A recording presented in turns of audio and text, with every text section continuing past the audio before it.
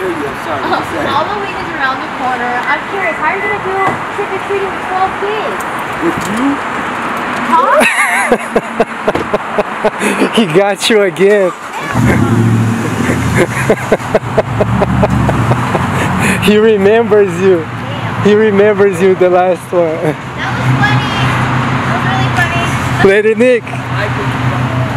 Huh? I like when you come around. Wait, can you say God bless Nick. Bye. Later, bro. What did you say again? I like when you. Oh, okay. Oh, I'll keep oh, that in Nick. mind. Damn.